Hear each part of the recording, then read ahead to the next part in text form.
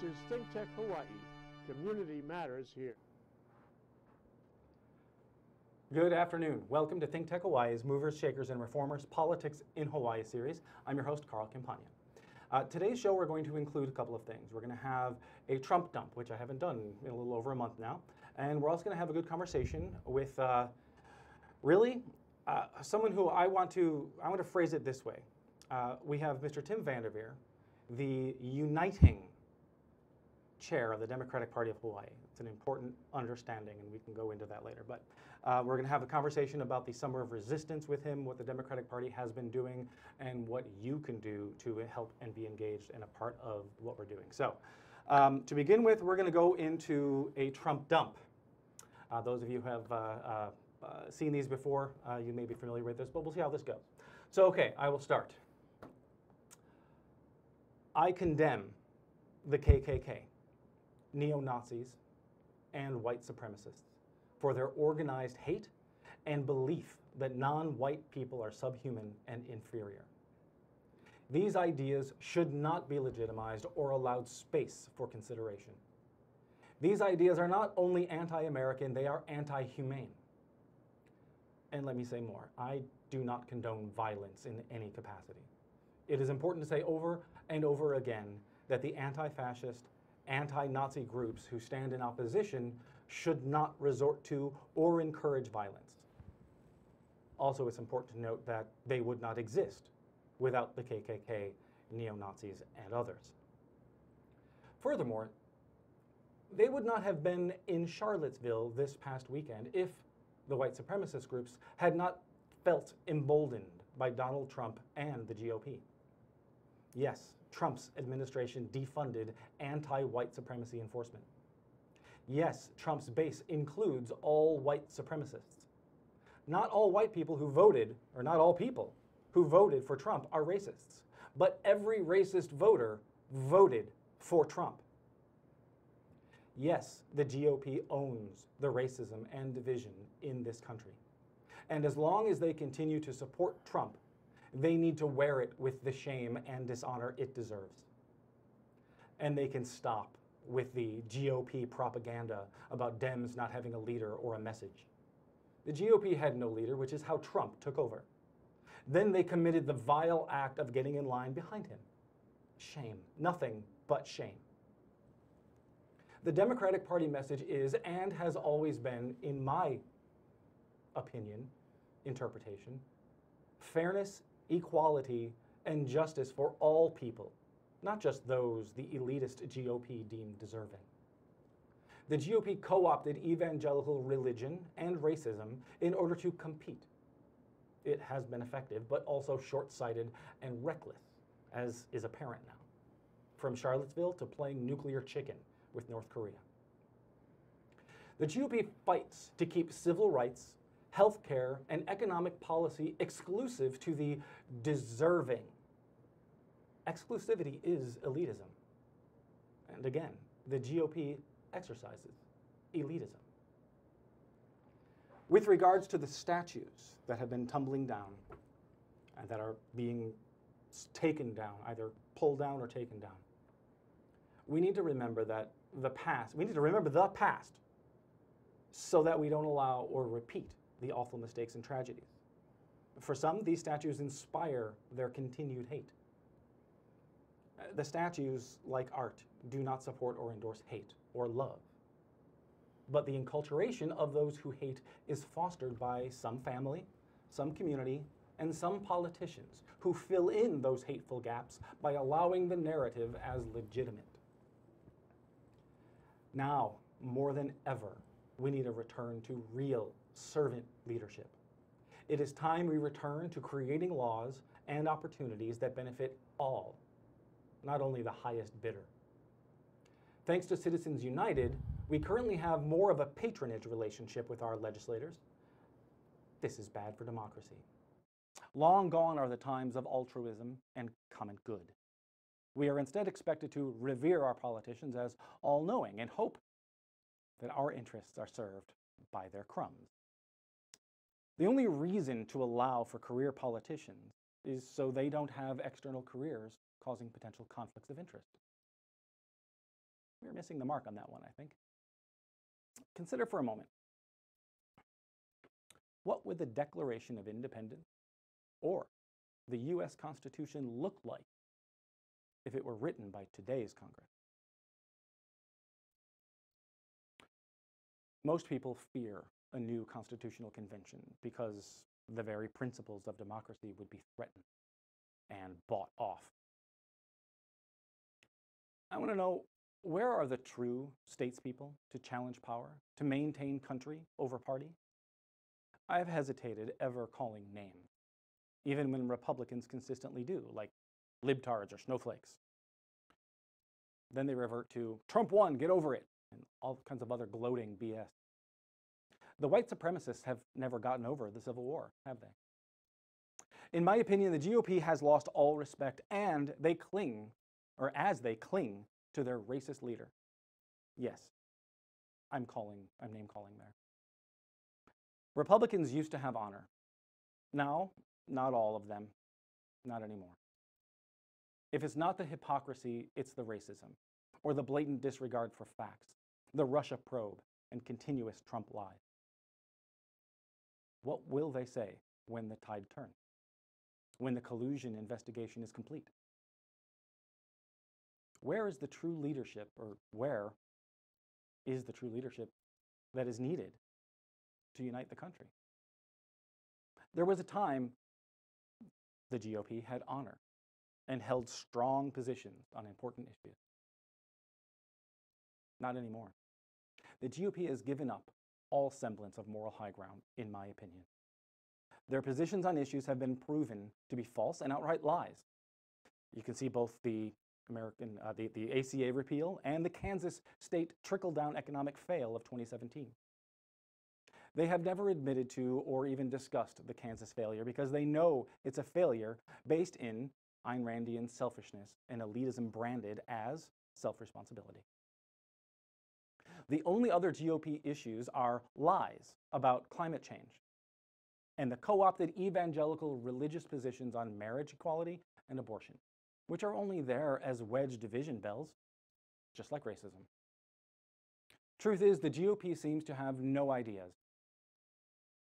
They have only said no to Democrats' ideas. And their so-called leaders know it. Seriously, when did they last have an original idea? Think long and hard about this. It's true. They are the party of no and the anti this, that, or the other party. Trickle down economics is not new. It's supply side economics defined long ago and shown to lead to the Great Depression. All they can say is Trump won and have no answers. Only elitist, privileged complaining. Sometimes the best deal is the one that was never made. All this being said, we will bend as a country, but not break. Trump's fire will extinguish, and we will bounce back. The system that is in place will outlast his ego, his bluster, and blind ideology. And with that, I conclude my Trump dump for today. Final thing I will say is let's have a moment of silence for those who lost their lives in Charlottesville uh, over the weekend, as well as uh, the five soldiers who lost their lives um, last evening uh, uh, in a helicopter accident. So one, one moment.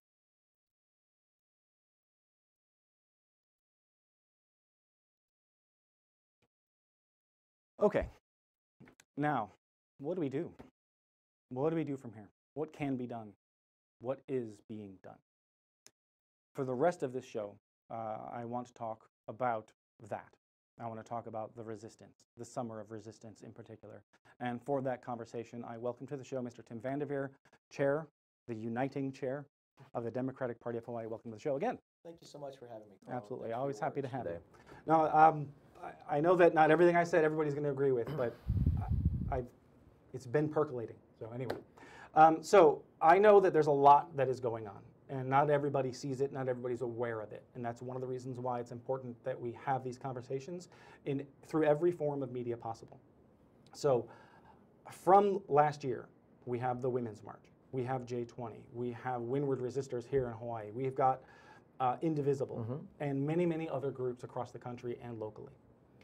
One of the things that I appreciate is the Democratic Party has decided, you know what, we agree with that and we want to do our part. And what has come of that is the Democratic Party's Summer of Resistance. So, can you tell us about the Summer of Resistance and how that translates locally and what's being done? Three questions there we'll build in. Sure. Well, I mean, in many ways, this is sort of a continuation of what we've been doing all along since uh, really before Trump was elected president, um, calling out his uh, racist comments, calling out his inappropriate comments, uh, be it about uh, women or minorities or immigrants, um, and then obviously continued after the election all the way through the inauguration. Many of the folks that are in the resistance we know are members of the party. Um, those who are not obviously agree with many of the planks of our platform. And so this is something that we have tried to do as a party to be as inclusive as possible, to continue to speak out when we know that there is something that is, that is wrong, that either the president is saying or members of his administration are doing through policy, um, but also to have discussions, forums, educational uh, meetings where we're talking about ideas, to have alternatives, because as you said in your comments, um, we can't just be all about no, no, no. We actually have to talk about policy and creating a government and a society that we all want to see. I mean, that at its heart is, is what the Democratic Party is all about and Yeah. has always been about. yeah. And how, do we, Um, how do we redefine by the people, of the people, for the people? How do we redefine that? Because apparently it feels like it needs to be redefined. Well, I think we're seeing it. Um, I don't know that it's anything that's going to be top down necessarily, certainly from our national party. We're seeing it organically in civic participation and people exercising their free speech and getting involved.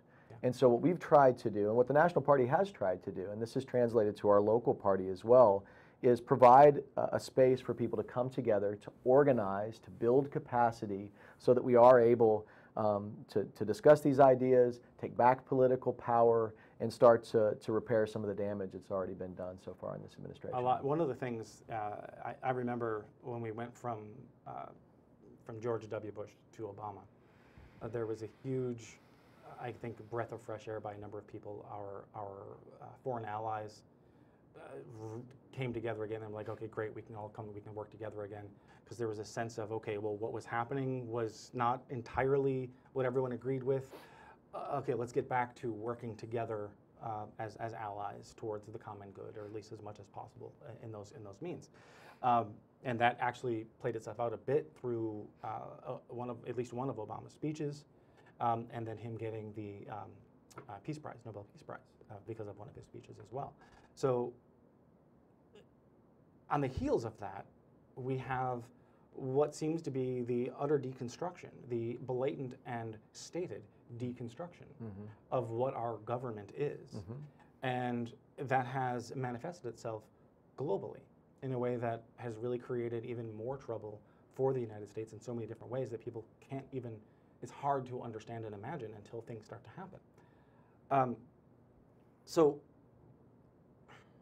we have some rebuilding to do in that. So how what what are we doing through Summer of Resistance? What are we doing to try to reach out to people at the moment? What are some of the things that are being done? Well, before I get into the nuts and bolts of the actual program, the, the summer of resistance, Yeah. and in our state, what's called the summer of resistance and renewal, I'd like to speak just for a moment, if it's okay, about um, what you mentioned about this trend that we see um, a growing uh, ideological shift in many nations toward isolationism, toward a, a hard right brand of conservatism um, and, and sort of in a historical context, what we can do about that. I think we always have to keep our eyes on the prize, right? And remember that in some cases, uh, our kupuna, our neighbors, our fathers, our grandfathers and grandmothers, our great grandfathers and great grandmothers fought against this and prevailed, right?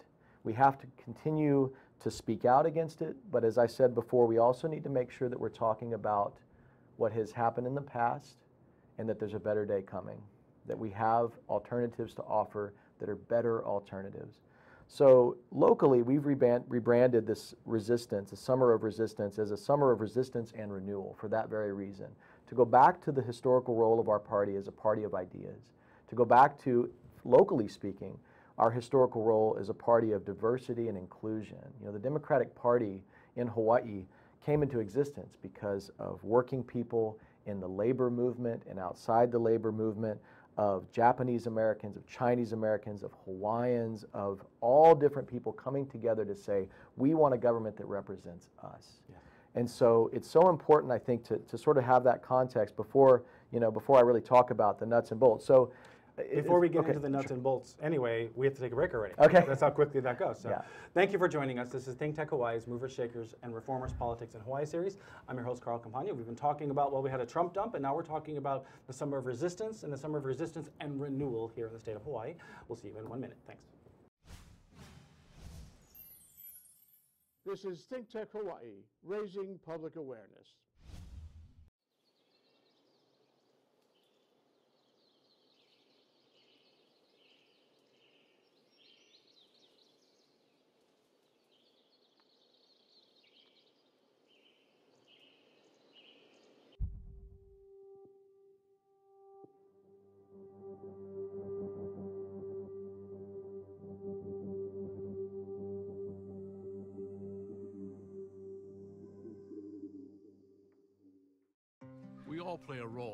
Keeping our community safe. Every day, we move in and out of each other's busy lives. It's easy to take for granted all the little moments that make up our everyday. Some are good, Others, not so much. But that's life. It's when something doesn't seem quite right. that it's time to pay attention. Because only you know what's not supposed to be in your everyday. So protect your everyday. If you see something suspicious, say something to local authorities. Welcome back to Think Tech Hawaii's Movers, Shakers, and Reformers Politics in Hawaii series. I'm your host, Carl Campagna. Once again, welcome to the show, Mr. Tim Vandeveer, Chair, the Uniting Chair of the Democratic Party of Hawaii. Once again, welcome. And we're talking about the summer of resistance. So let's get into the nuts and bolts of, of what we're doing. Sure. uh, let, me, let me start this way, though. You had mentioned earlier in the previous segment that not everybody who's part of the overall resistance to Trump are members of the Democratic Party of Hawaii or Democratic Party at all. Um, one of the things that I've heard in the conversations is the re- is the reason why many of them are not, and Sure. the reason why is a lot of them didn't feel that the that the party was doing enough. So that's where I think it's important that we start to make sure that all of those people out there see that the Democratic Party is not trying to co-opt the resistance, Right. but joining and Absolutely. saying we're trying to do something. Right. So I think that will help bring more people together and help unify, and I think that's one of the things that you've been doing. I know there's a lot of different groups and factions within the party of Big Tent that need to come together, and and I know that you're doing that. That's why I call you the unifying chair. uh, so um, so but but with that though, so as a result, that's why I want to hear the things that that the party is doing and uh, what and the nuts and bolts of the resistance. So let's go from there. Okay, so so just to, to the first part of your question, what what does the party stand for? How can we be better about ad- addressing issues that affect working people? How can we be there for organized labor and our brothers and sisters in the union movement? Um, I think it's going to take an ideological shift, and the party's still kind of struggling with that right now. I personally. Uh, am a proponent of New Deal politics, which means a strong social safety net, uh, a very strong uh, and fundamental role for our government to play in the lives of people. Um, I think that should have probably been the answer. I think it should It's have been what brought us out of the Great Depression. to Depression. 2008's financial crisis. I think in many ways that's why we saw the Occupy movement in 2011 is because people were hurting and the government wasn't doing enough. And quite frankly, the Democratic Party wasn't doing enough to respond to that. I'm talking on a national uh, level here.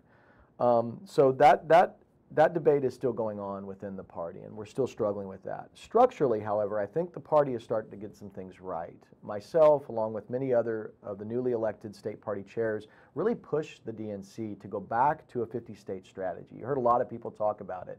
it to, to a point where you had both of the, the candidates, the two major candidates for DNC chair, sort of falling all over themselves trying to talk about how much they would do a 50 state or what's now called the 57 state and territory strategy. Yeah, And so that part they've gotten right. And so part of what they've done, not to co opt the resistance movement, um, but to make the party sort of this welcoming place for people that are speaking out and speaking to our values, um, is to, to provide grants for state parties. to do things like hire field organizers, which, which in Hawaii is something we haven't done in decades. Okay, let's break that down a little bit. So, Sure. So the Democratic Party created a grant program. So from their coffers of funds, what they did was they provided states That's right. funds, grants. That's right. So here's money to go hire some field coordinators. That's correct. Through for a, for a finite amount of time. Mm-hmm. In this case, through the summer, uh, there will be more grants coming available in October for different reasons, but primarily to build the infrastructure of some of these state parties because we know that we've been devastated Yeah. in state elections. Of course, not the case necessarily Not in Hawaii Hawaii, necessarily, but- um, and that's one of the reasons why we sort of rebranded our program here to be a, a summer of resistance Renew. and renewal, right? Because we do have some structural issues within the party. We haven't, um, I think, been at a place where we're willing to have regular meetings at our district and precinct levels and provide training in quite some time. And there was a time in our party's history where the precinct club was where the action was. That Yeah. was a social club. It's That's where you got together. That's when people talk about grassroots. That's what they're talking what about. they That's the grassroots. And so we're really trying to kind of shift the culture back to that mentality to provide people a forum on a monthly basis, to provide some guidelines from the state, quite frankly, for ideas for events you can have, for forums, informational forums, to invite our legislators to be part of the district and precinct meetings and provide training for our precinct folks. Because we know from the schoolhouse to the state house to Congress, we need to be organized and looking toward 2018, and the work's got to start. It had to start yesterday. Yeah. And, and in many ways, that's part of what the DNC has gotten right right now, and we're absolutely on board. Oh, and that's and that's a huge thing, and that's a huge thing. So, uh, so that's absolutely true. Uh, the grassroots, and one of the things uh, at the beginning of all of this, I, I think, once we started to see the swell of resistance in the women's march and, and all of them really start to show, and everybody started to see what we were expecting, and then what we saw from the women's march on the 21st of January. My first comment was, "Wow, mm-hmm. we've just awoken the sleeping giants of grassroots." All over again. Chicken skin right now. yeah. Exactly. Yeah. And that is, that in itself, I, I'll thank Trump for that. I'll thank him for that. There's a few things I can thank him for. It's actually thanks to him that the Affordable Care Act repeal went down. Um, that's actually, you know, a good thing. A lot of what he does or doesn't do has those impacts, and so we can actually thank him for some of that stuff. When I say so chaotic. when I say there's a better day coming, that's what I'm talking about. The Okay. feeling that I had when I was following the lead of the women in our party and the women in our community during the women's marches, and I was part of the women's marches in Hilo and Kona. I was on the Big Island for those days. That's what I'm talking about. That to me gives me an incredible sense of optimism and what the future can hold. Yes, and we and from the media, as we we were saying earlier, from the media to all of the resistance people, all of the separate groups working in any coordinated fashion possible, understanding that the primary goal is against Trumpism. Yeah. Uh, and one of the goals with that needs to be shoehorning him out of the Republican Party.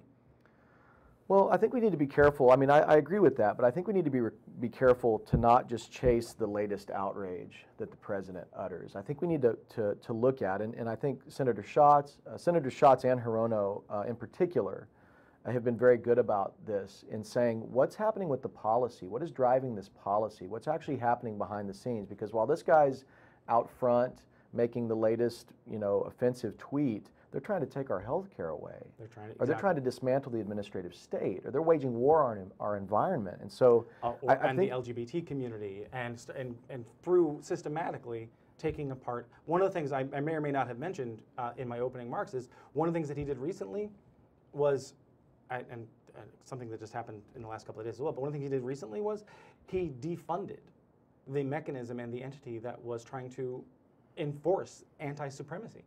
He defunded it. So of course he's opening those doors.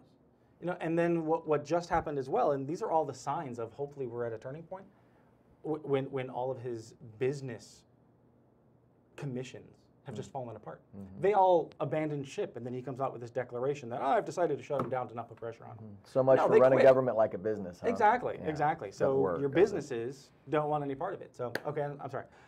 That's fine. The last few minutes that we have, let's go back into what the party is doing locally, uh, how people can be involved, where can they go to, to get involved, how do they how do they jump in? So, uh, first thing I would recommend is getting in contact with your district officials. We're going to be having 31 of our 51 districts statewide meeting in the month of August. This is something that, again, hasn't happened in a long, long time. And then hopefully monthly meetings thereafter. Um, How the do they get in September meetings, How do they get in touch with their district? you can go to our website and find out who your district chair is. Okay, which website? Um, There's multiple websites. HawaiiDemocrats.org, .org, HawaiiDemocrats.org. Um, find out who your district chair is. You can also call uh, the state party, um, and, and we're, we'll be happy to, to give you guidance there as well. Um, the, the September meeting will be all about training. So if you're a member of a district, if you're one of our officers at the district level, officers at the precinct level, we'll be talking about your roles and responsibilities. We're going to be doing some fundraising. We're going to be holding informational forums. We've got a lot of stuff coming up, but I would say that's the first place to get involved. Okay. Is with your precinct or your district, probably your district to find out when those district meetings are happening. Um, after that, it's just a a matter of staying informed and involved. One of the things we're also providing is an activist calendar, right? A way to And- plug and into that's some of these resistance So groups. you got people Sure. that want to be involved, Yep. okay, I show up to a meeting, okay, what am I doing? Right. What, what then, what are the actions We're gonna be- can then engage in? So this weekend is the National Weekend of Action. So we're going to be doing canvassing across the country, and in Hawaii, we'll be knocking on hundreds of doors at the district level to improve our membership outreach. We're putting a survey in the field.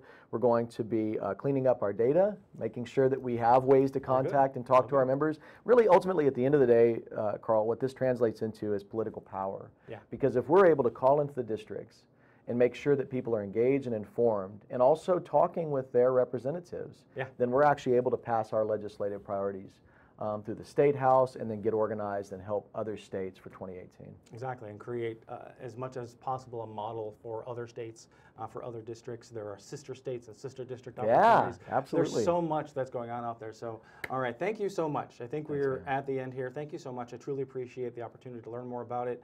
Um, next time there's an update, please come back to the show, or next time there's some crazy thing we need to figure out, come back to the show. We can talk, because I just want to make sure there's opportunity to learn about what's going on and what we can do and how we can all engage. Uh, so thank you for joining us again. This it. is Think Tech Hawaii's Movers, Shakers, and Reformers Politics in Hawaii series. I'm your host, Carl Campagna. Once again, today we had our Trump dump, and we had a great conversation with the uh, uh, chair, the unifying chair of the Democratic Party of Hawaii, Tim Vandeveer. Thank you for joining us. We'll see you next week when we have Senator Stanley Chang. See you then. Right on.